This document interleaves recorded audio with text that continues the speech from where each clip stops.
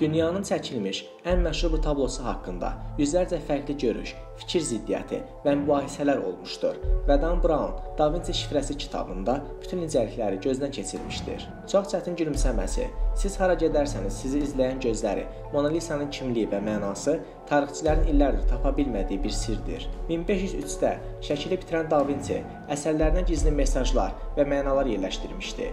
İtalyan tarixçilərin son kəşfləri Mona Lisa-nın gözlərinə lupa ilə baxıldığında balaca nömrə və hərflərin göründüyünü göstərmişdir. Sağ gözündə təxminən Da Vinci-nin baş hərflərini təmsil edən LV hərfləri, sol gözündə isə seçilə bilməyən simvollar tapılmışdır. Arxa plandakı körpüdə 72, rəsmin arxa hissəsində isə 169 sayı görülür. Bütün bu işarətlərin mənası ola bilərmi? Mütəxəssislər illərdir bu simvolların gerçək Da Vinci şifrəsini götürən kodlar olduğunu iddia etməkdədir. Ancaq kimsə bu tapmacanın cavabını tapmağa yaxınlaşmamışdır belə. Siz nə düşünürsüz?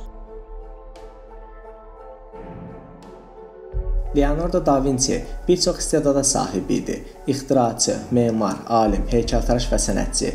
1490-cı ildə çəkdiyi ən məşhur əsər Son axşam yeməyində, yəni xristian inancına görə İsa'nın çarmıxa vurulmadan əvvəlki axşam həvariləri ilə yediyi son yemək rəsmində 100 illərcə kimsənin fərq etmədiyi bir detala, işlədiyi bir istedad daha vardı musiqi istedadı. İtalyan musiqiçi Giovanni Maria Palanın 2003-cü ildəki kəşfi üzərinə nota yazımında istifadə olunan portretləri, yəni 5 dizgini rəsm üzərinə çəkib, rəsm boyunca görülən havarilərin əllərini və çörəklərini notlarla birləşdirsəniz, 500 ildir sirr olaraq saxlanılan bir musiqini eşitmiş olarsınız. İlk baxışda notalar bir məna ifadə etməsə də, Leonardo da Vinci-nin musiqisi sağdan sola yazdığı xatırlanınca notalar tərsinə çevrilmiş və bu 48 saniyəlik musiqi ortaya çıxmışdır.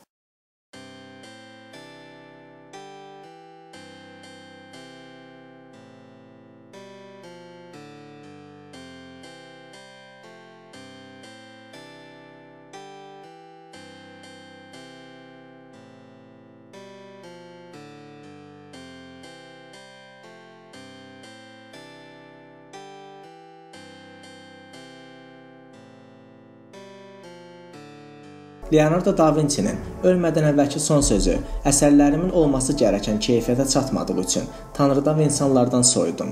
Həyatı kimi yarım buraxmış bu musiqi onun öldükdən sonra necə xatırlanmaq istədiyi ilə əlaqəli duyğuları hərəkətə keçirir. Bu Michelangelo'nun 1512-ci ildə Papa 2-ci Julius idarəsindəki Vatikanda Sistina kilsəsinə qurulan Peyğəmbər Zəkəriyanın təsviridir. Papa 2-ci Julius etdiyi pis işlər səbəbilə nifrət edilir və bir fəlakət olaraq adlandırılmışdı. Michelangelo ondan nifrət etdiyi üçün bu Zəkəriya təsvirini ona bənzətərək çəkmiş və rəsm Vatikanın ən mühüm nöqtəsinə yerləşdirilmiş və papanın uzun bir müddət boyunca hər gün keçərkən gördüyü bu tablo ilə qürurlandırılmış kimi görünsə də, rəsmə gizli bir təhqir yerləşdirmişdir. Qəddar papanın hər gün gördüyü bu rəsmdə Zəkəriyanın arxasına yerləşdirilmiş iki uşaq Papaya o zamanlarda ağır bir təhqir olaraq bilinən bir əl hərəkəti edir və bütün kilsə cəmiyyətini rüsva etməkdədir. Masonların dünya cəmiyyətinə inanılmaz dərəcədə təsir olduğu söylənir. Ən oxunan yazar Dan Brown sadəcə bir kitabını bu mövzuya həsr etmişdir. Masonik işarətlər dollar kimi bir çox günlük istifadə etdiyimiz işarətlərə bilərəkdən yerləşdirilmişdir. Bu dünyanın ən məşhur klassik musiqi bəstəkarı Wolfgang Amadeus Mozartın 6 yaşındakı bir rəsmidir. Rəsm Pietro Antonio Lorenzoni tərəfindən 1763-də çəkilmiş və rəsmin Mozartın daha uşaq yaşlarında masonluğa aid olduğunu göstərdiyi iddia edilir. Bütün dünya təsir edən Mozartın yaşı artdıqda mason olduğu bir həqiqət Ancaq onun ən başından bəri masonluğa aid olması həqiqətmi? Köynəyin ya da ceketin içinə əlini salaraq poz vermək həmin adamın masonlardan biri olduğuna aid işarədir. Professional həyatında bir çox parçasını masonluğa olan sədaqəti ilə bağlayan Mozart daha 6 yaşında bəzi şeylərin beyinə yerildiyini düşünmək üçün narahat edici bir fikir olduğunu söyləmişdir. Bəziləri isə bu rəsmin o zamanlar insan barmağı çəkməyin çətin olmasına görə belə çəkildiyini deyir və buna bənzər misallar var.